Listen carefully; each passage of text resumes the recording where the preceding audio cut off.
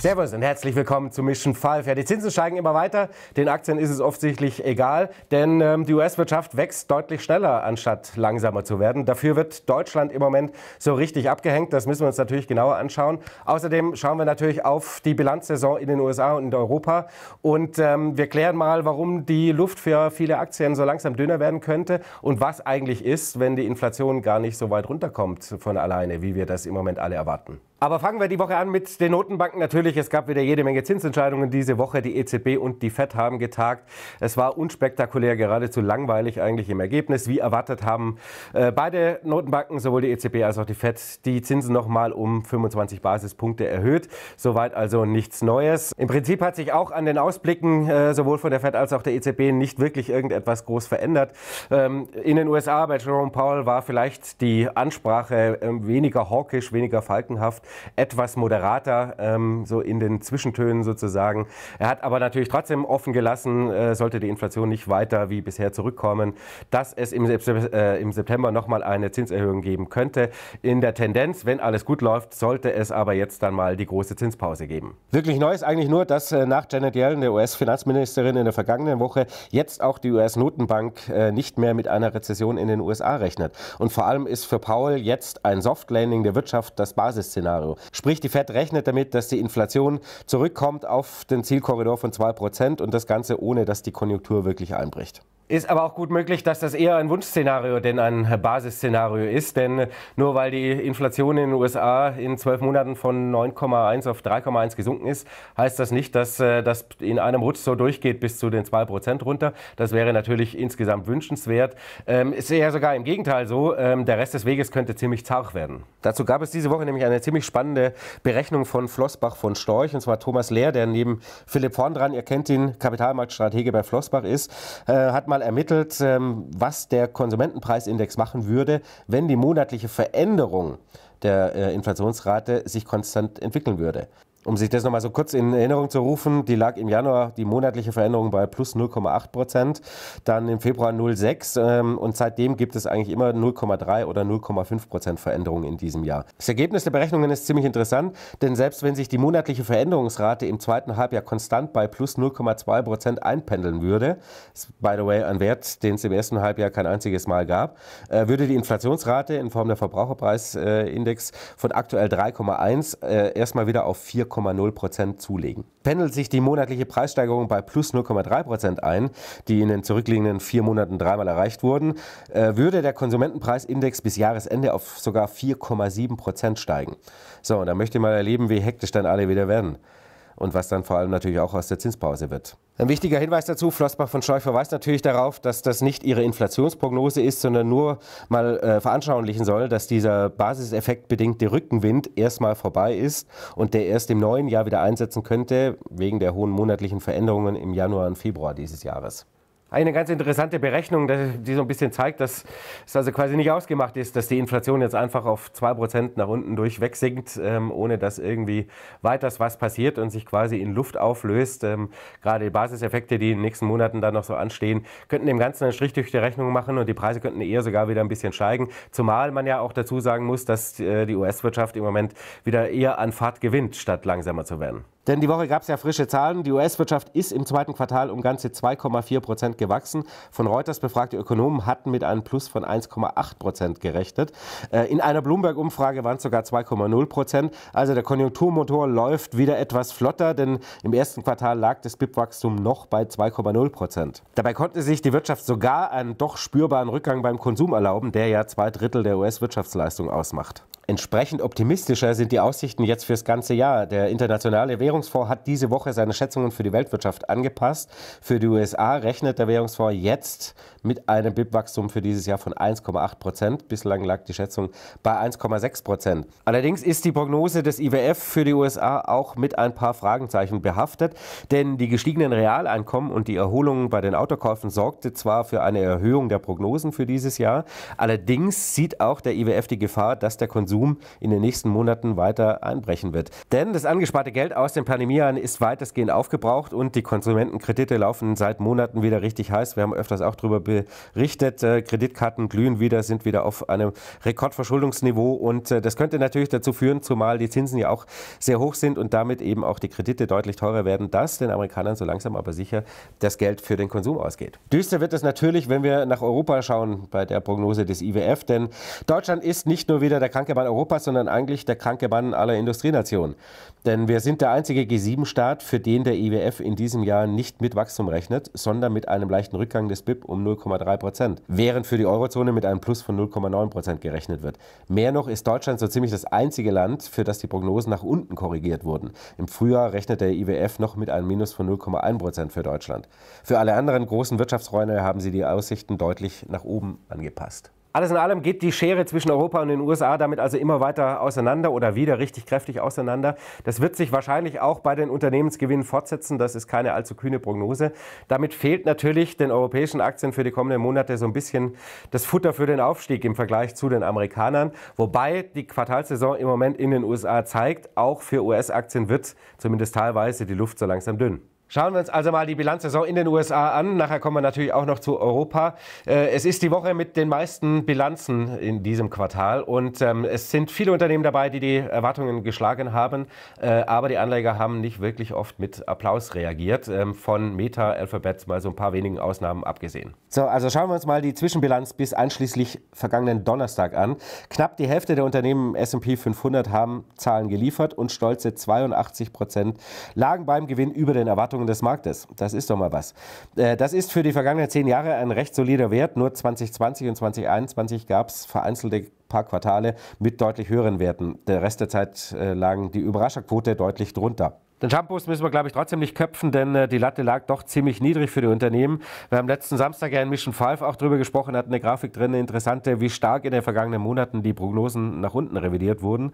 Nach der Hälfte der Bilanzen verdichtet sich jetzt denn auch, äh, dass die indexweit erwartete Gewinnminus von 9 Prozent nicht aus der Luft gegriffen ist, denn bislang sind wir bei minus 9,2 Prozent. Weniger schön ist übrigens die Bilanz, wenn wir mal auf die Umsätze schauen, denn da übertreffen gerade mal 56 Prozent der Unternehmen die Erwartungen des Marktes. Bei einem Viertel der Unternehmen lag der Umsatz deutlich unter den Schätzungen. Aber, und das muss man auch dazu sagen, ist der S&P erst bei einem Umsatzminus von 0,1 Prozent. Die Schätzungen für den Index liegen bei minus 0,5 Prozent. So, aber auch da mal eine historische Einordnung. Mit etwas mehr als 50 Prozent ist die Bilanz in Sachen Umsatz im Vergleich zu den vergangenen zehn Jahren nicht so wahnsinnig überzeugend. 2021 schlugen mehr als 80 Prozent der Unternehmen die Umsatzschätzungen. Die Quote ist die schlechteste seit 14 Quartalen. Aber spannende Frage ist natürlich immer, was machen die Märkte draus? Äh, und da muss man natürlich klar sagen, der Applaus bleibt oft aus für gute Zahlen sozusagen. Das ist nicht so überraschend nach der Rallye seit Oktober.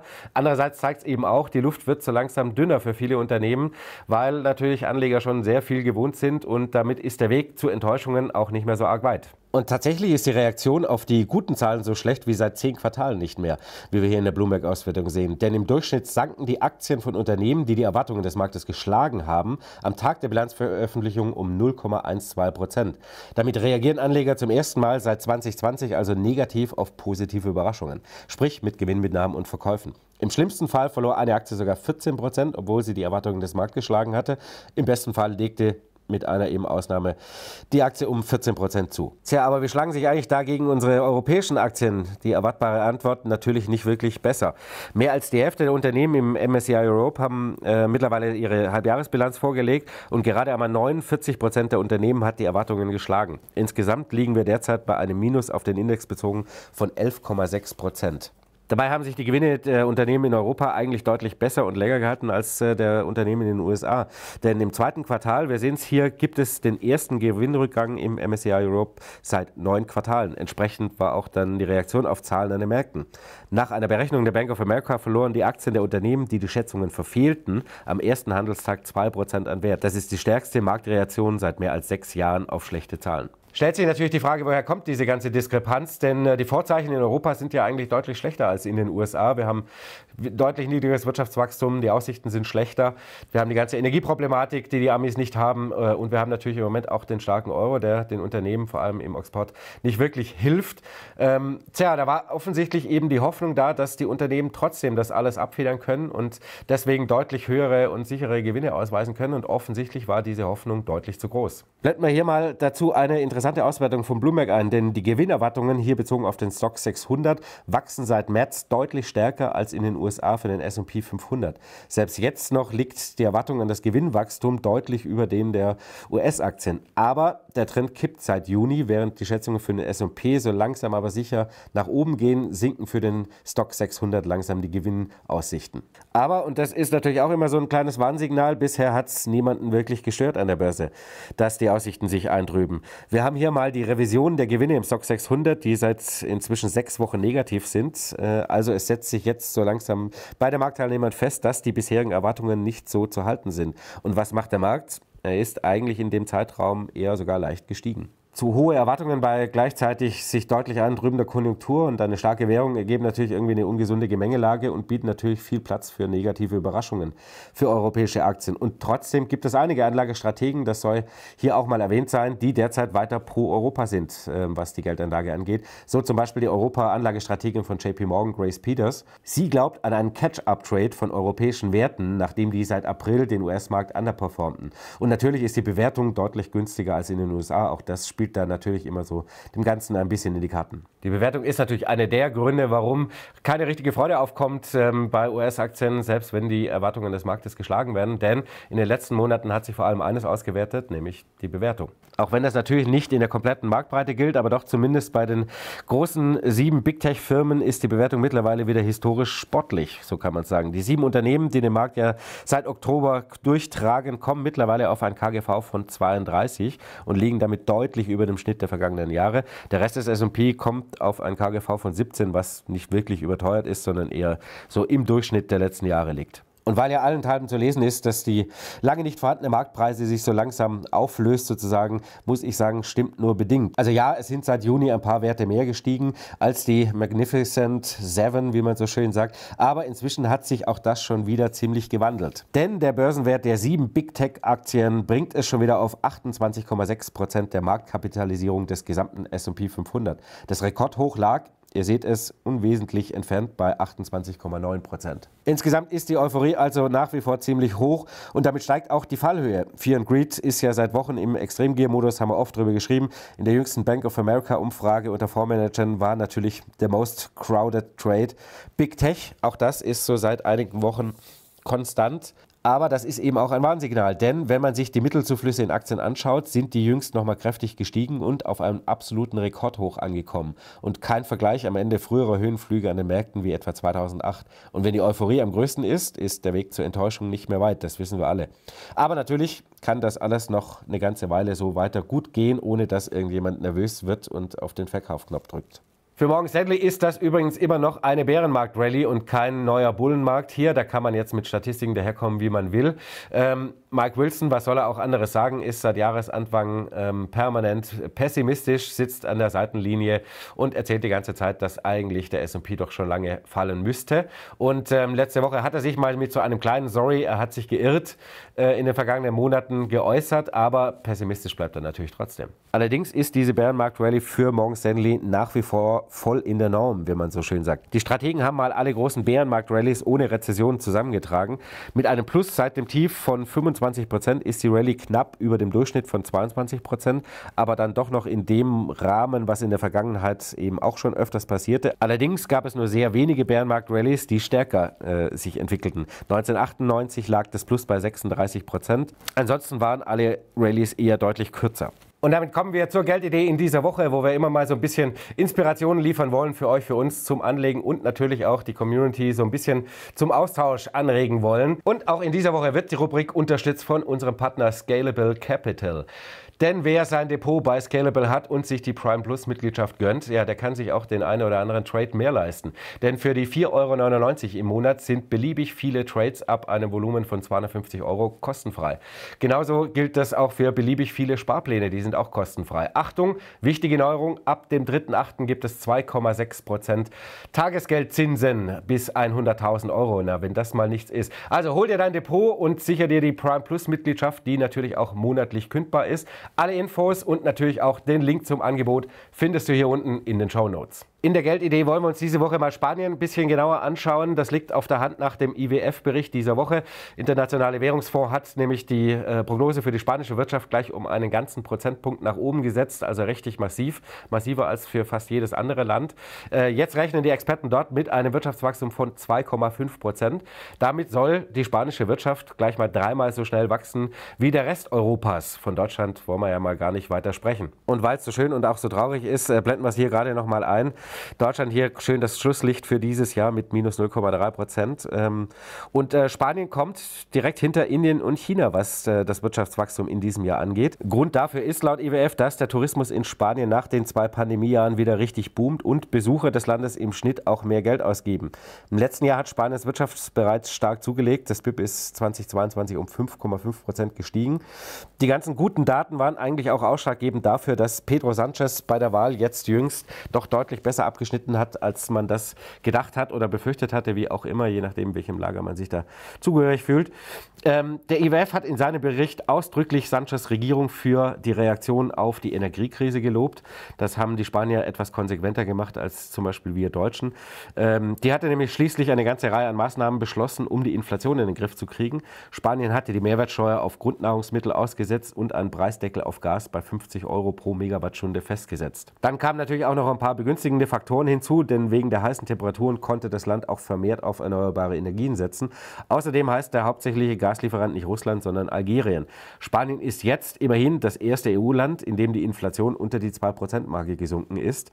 Das ist der niedrigste Stand seit März 2021. Das bleibt der Börse natürlich nicht völlig ähm, unentdeckt, logischerweise, und deswegen holt der IBEX auch so langsam aber sicher auf. Der spanische Leitindex hat seit Jahresanfang um gut 15 Prozent zugelegt, ist damit also ähnlich stark gestiegen wie der DAX. Außerdem sind die spanischen Blue Chips im europäischen äh, Vergleich tatsächlich nach wie vor ziemlich günstig. günstig und anders als der DAX ist der IBEX auch noch ein gutes Stück von seinem Allzeithoch entfernt. Also ein bisschen Luft nach oben könnte da durchaus noch drin sein. Also lohnt sich vielleicht doch mal ein genauerer Blick auf Spanien. Man muss natürlich auch dazu sagen, dass nicht alles Gold ist, was glänzt. Denn Sanchez Maßnahmenpakete, um die Wirtschaft auf Vordermann zu bringen, hatten natürlich ihren Preis und der war ziemlich stolz. So beträgt die Staatsverschuldung inzwischen 113 Prozent des BIP. 2019 waren es noch 98 Prozent. Dadurch steigt natürlich die Zinslast für diese Schulden, wodurch der neue Regierungschef, so er denn mal im Amt ist, womöglich gezwungen sein könnte, einen Sparkurs einzuschlagen. Außerdem zeichnet sich ja im Moment ein bisschen ab, dass die Regierungsbildung eher kompliziert wird, sich das also eher noch ziemlich in die Länge zielt und ähm, damit ist natürlich auch die Sorge verbunden, dass äh, Investitionen sich verzögern, die dringend getätigt werden müssten und die 77 Milliarden Euro äh, an Fördergeldern der EU, die Spanien eigentlich noch zustehen, eher langsamer abrufen werden und dadurch eben noch weniger Geld investiert wird stellt sich natürlich immer die Frage, was könnte man denn da sich genauer anschauen, wie könnte man da investieren. Die erste Geldidee quasi wäre dann also ein Spanien-ETF auf Amundi. Wir blenden es hier gerade mal ein. Das ist das einzige ETF, das den MSCI Spain nachbildet und damit Zugang zu den größten und umsatzstärksten Unternehmen des spanischen Aktienmarktes bietet, ist natürlich etwas breiter angelegt als ähm, ein ETF auf den IBEX. Und dieser etwas breitere Ansatz hätte sich tatsächlich für Anleger äh, rentiert auf jeden Fall, denn auf Sicht der vergangenen zwölf Monate hat das ETF um 25,2 Prozent zugelegt. Ist ein thesaurierendes ETF, die Gesamtkostenquote liegt bei 0,25 Prozent und das macht es zum günstigsten Spanien-ETF am Markt. Alternativ bieten sich natürlich auch die eine oder andere Einzelaktie an. Isabel hat sich mal drei, vier Unternehmen rausgepickt, die wir mal kurz anreißen wollen. Ganz oben, das darf natürlich nicht fehlen, ist Inditex, der Mutterkonzern von Sarah und Co.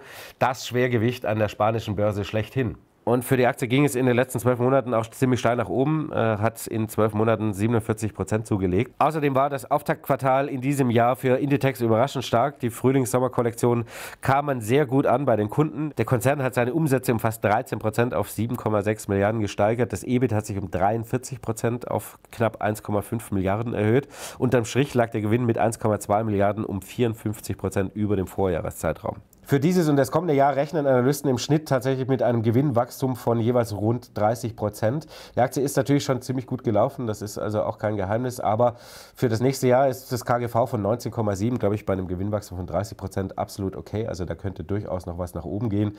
Immerhin, auch ganz interessant, gibt es eine Dividendenrendite von deutlich über 4 Prozent. Und die zweite Aktie, die sich Isabel rausgepickt hat, ist ein weiteres Schwergewicht natürlich der spanischen Börse, und zwar Iberdrola, einem der größten Stromproduzenten und auch Betreiber von Windparks äh, auf der ganzen Welt. Die Aktie ist im vergangenen Jahr um fast 16 äh, Prozent gestiegen, also eher ein bisschen hinter dem Markt zurückgeblieben. Außerdem kommt Iberdrola der normalisierte Energiemarkt so langsam zugute. Der Versorger hat ein starkes erstes Halbjahr hinter sich und deshalb gleich mal seine Prognose für das gesamte Jahr erhöht. Der Umsatz wuchs bis Juni gegenüber dem Vorjahreszeitraum um 7,5 Prozent auf 26,3 Milliarden. Der Reingewinn hat sich um 21 Prozent auf 2,5 Milliarden erhöht. Nach den guten Zahlen ist die Prognose jetzt, dass er im Gesamtjahr um insgesamt 10 Prozent steigen soll. In Relation zum Wachstum ist sie natürlich etwas teurer bewertet als Inditex mit einem KGV von 15 äh, fürs kommende Jahr.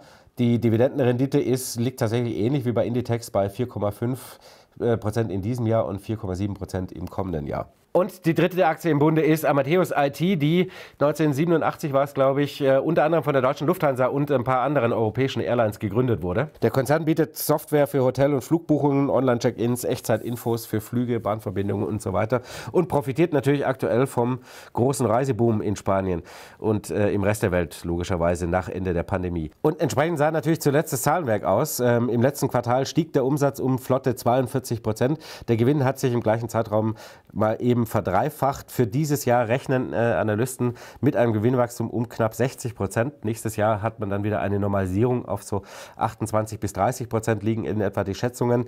Natürlich ist die Aktie schon recht flott gestiegen, zuletzt 20 Prozent zugelegt äh, in den letzten sechs Monaten und ist mit einem KGV von 27 natürlich nicht spottbillig, aber angesichts der Wachstumsraten und natürlich auch dem Umstand, dass sie aus der Tech-Welt kommen, ist das, glaube ich, ein absolut vertretbares ähm, Niveau.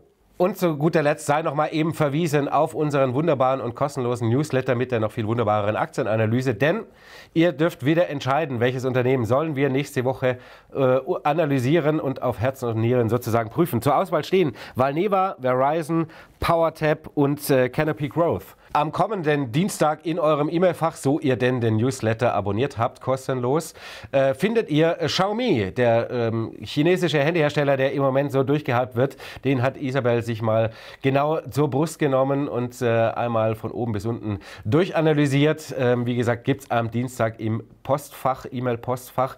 Wenn ihr den Newsletter noch nicht abonniert habt, dann aber jetzt wirklich zackig. Zu finden wie immer unter www.mission-money.de slash newsletter. Bleibt mir natürlich noch, euch ein schönes Wochenende zu wünschen. Vielen Dank fürs Zuschauen vom gesamten Team. Isabel und Matze hinter Kamera und natürlich von mir. Schönes Wochenende. Macht euch eine gute Zeit. Ich werde am Wochenende ein bisschen Tennis spielen. Muss mal dringend was gegen die Plauze machen. Nur ist das Problem immer, dass ich dann noch zum leichten Weißbier greife. Aber das kriegen wir schon hin. Ich wünsche euch ein gutes, schönes Wochenende und äh, wir sehen uns nächste Woche wieder. Ciao.